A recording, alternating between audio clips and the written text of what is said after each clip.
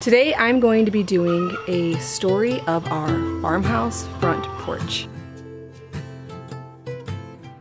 I've shared this porch quite a bit throughout the last three years since we purchased this property, but I've never done a full before and after story of the porch. In the last week or so, Luke and I have been preparing for a blog retreat that I'm hosting here at my home. A few close blogging friends of mine, we have the three-year annual uh, retreat. Basically, we've been going to each person's local area and this year it is me. And so we needed to completely freshen up the porch. We didn't need to, but I just wanted to. Everything needed a fresh coat of paint. Everything from the porch to the rocking chairs, it all needed a lot of touching up and now it looks so beautiful and so I want to share with you the whole story of this porch because we've done so many things over the years and I want to bring it all together. When we first moved to our property this porch really caught my eye. I loved the charm of the barn and the silo and the cottage and I could have a vision for all of it and I knew that a front porch where you could sit outside on a hot summer day, enjoy lemonade, sweet tea, was something that was really important to me. Our house needed a porch.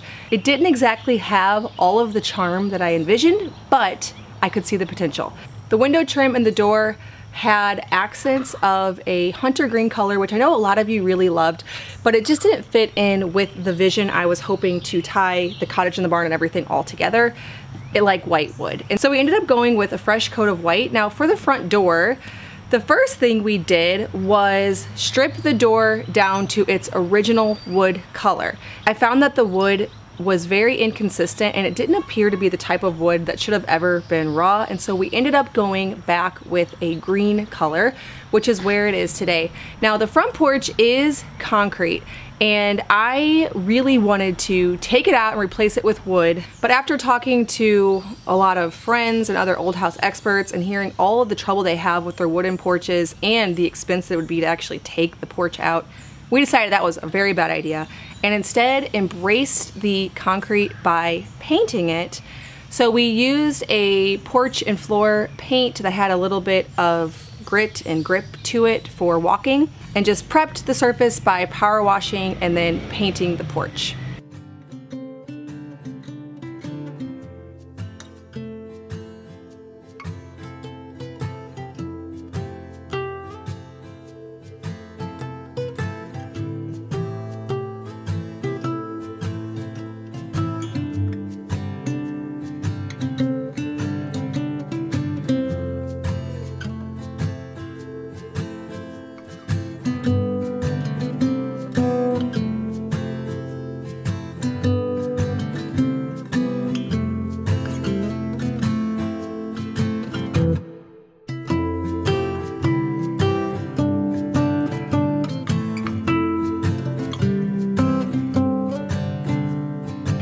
On the front there was a big concrete block and I knew that I would like a wider, nicer entrance. And so Luke and I built some steps there instead. He jackhammered out the concrete block and we put our two heads together and figured out the stair risers and treads and all that stuff and built two little handrails and three steps, which gave it such a nicer appearance because it's wider and of course the wood has some charm. The porch color runs out straight into the treads and so it feels almost like it's wood because it's an extension of the porch. It looks seamless and so you get the feeling that it's wood.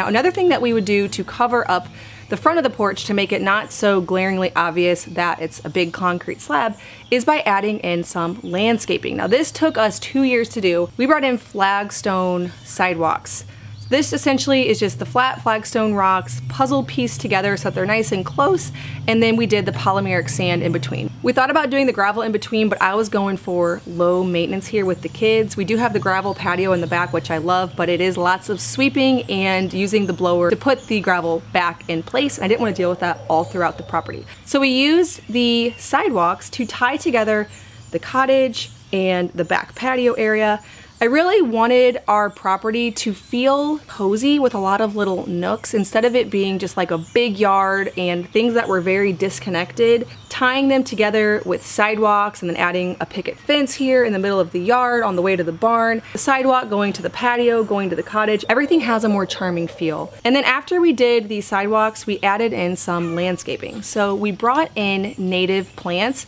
I actually use the Picture This app to identify what they are because what happens is we put in so many different things. We have it wrapping around the front, to the right, to the left, in the back, and I forget what all I put in. But we did a lot of natives like echinacea and yarrow and then native hydrangeas and ferns. And then I also did bring in some non-native things as well. It's just all very mixed up, but I love how it looks this time of year, all overgrown. I even do a lot of cut flower arrangements from my landscaping.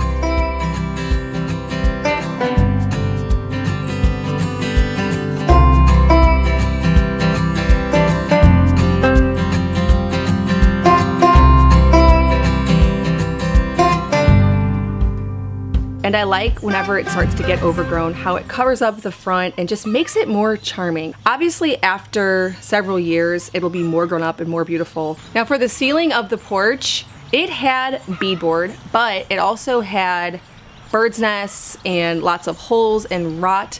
And so we ripped out a good portion of it and found some old beadboard that matched it. We had to find this from a salvage shop and pieced in the parts that were bad with the parts that were good. Now we could have gotten all new beadboard just at Lowe's or something, but I really wanted to keep the old beadboard because it has a certain appearance and even just the gaps and the way that the seams fall that make it look antique that I just would not be able to find with modern day beadboard. Another thing we did to add the original charm was bring in spindles and corbels. So this home originally, if you look at the side porch, would have had between each of the porch supports, would have had running trim and corbels, but at some point in history, they were removed. And interestingly, when we first moved into this property, I did not like any of the swirly things. I didn't like the swirl in the gable.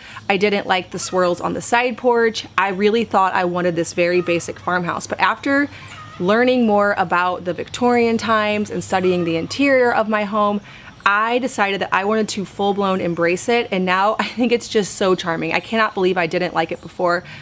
Later, obviously, I end up adding all of these extra swirls and gables and corbels I ordered them all from a local woodworking company. The way I did it was I went to the side porch, the ones that I was trying to emulate, and I traced around the little spindle things and around the corbels and I mailed them in and had them custom made for this front porch. I love the added charm that it brings in.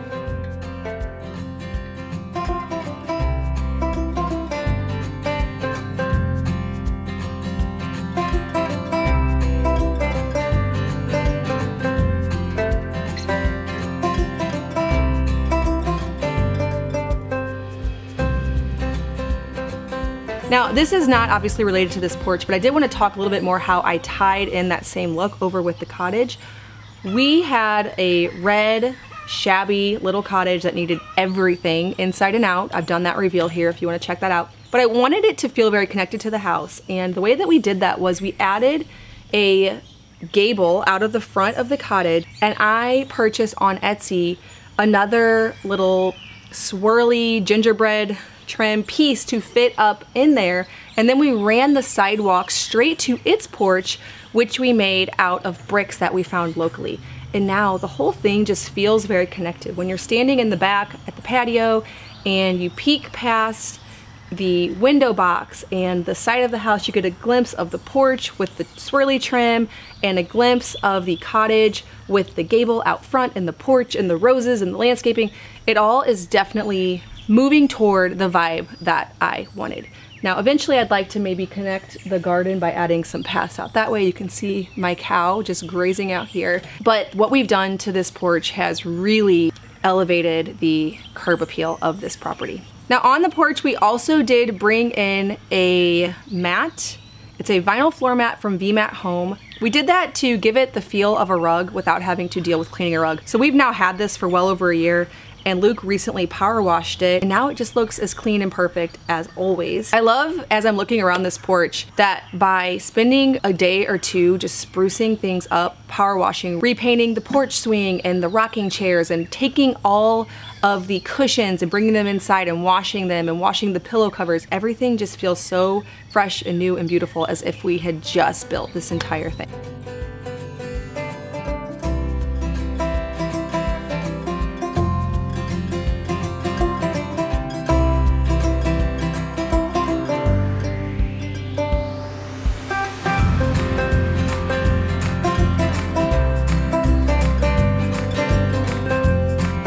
Feature of my porch that I really love are these crocks. So I use these as planters and it's great because in the fall I bring in mums and pumpkins and then in the summer right now I bring in vines and petunias and make them very cheerful and summery. And so I love having those to swap out to make my porch seasonal.